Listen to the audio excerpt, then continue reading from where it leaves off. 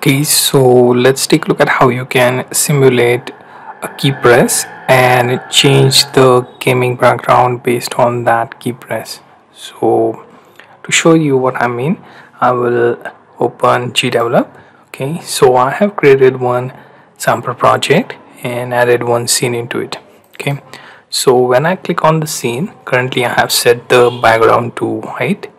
Okay, if you want to add any item, can simply add sprite. Let's see. I want to add a icon name background. Let's add animation. And let's see if I choose this icon right? And click on apply. Now let me save this and drop this icon on screen. So I have two options with this icon. So let's see if I want to put icons like this on top and I can use a key press or cursor press on this icon okay? We can also use shortcut key press okay? By doing that we can change the background okay? So we go to events right? Then we add condition okay? That let's see here you can see keyboard key pressed. Okay now here we have to check for that key. Let's say B for background change key. Click on OK. Right? Now when this B key is pressed what we will do is we will add one action. Go to other actions. And here go to scene and change its background color okay now here you can choose from let's say this blue or any other color. Okay now save this. Okay now go back to your main scene and let's run this. Okay now here you can see I have set this icon at the top. You can choose depending on your game some people use the top some use bottom some use simple one button and then open menu. So depending on that you can choose. So currently you can see I didn't add any action for this particular icon. So pressing this won't result in any but if I press B it will change the background.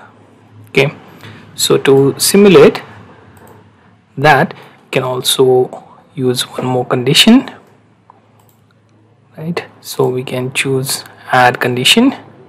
Choose our object background. Now let's take a look at what are our options. Okay. So can check for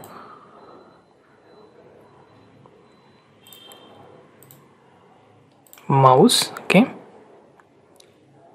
Mouse button is pressed or touch held. So choose an option.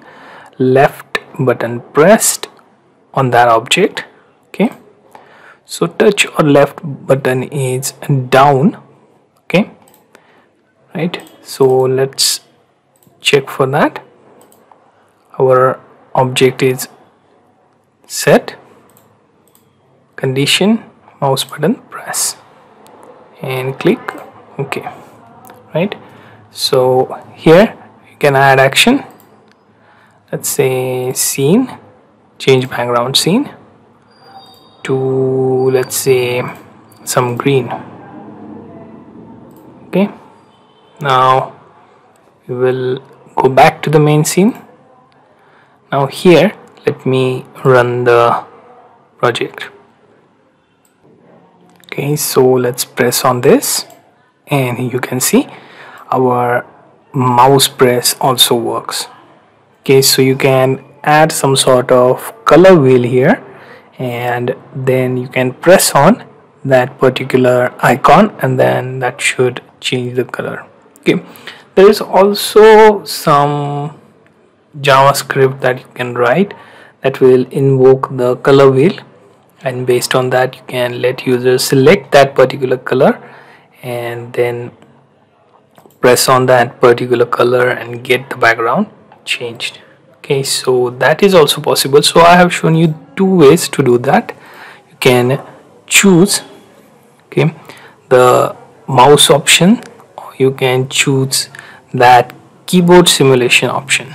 Okay so keyboard simulations is good when you have limited options and you don't want to give too many options to user then go with keyboard shortcut. And if you want to give options to user then use this mouse press and give it multiple options to choose from okay? And if you're good with javascript you can also have some sort of color wheel okay? So based on that you can click on that and choose the hex code okay?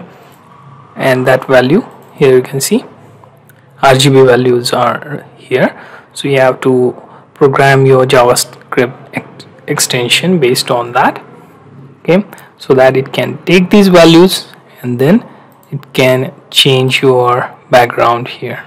Okay so basically there are multiple ways to solve this problem. So the problem here was allowing user to change the background or your scene background based on that input. Okay so we have covered the keyboard shortcut and also covered the mouse press or you can say mouse button press or release action. Okay so these are two methods that you can do with your games and change the background like say in this case mouse action. Okay so I hope you find this useful.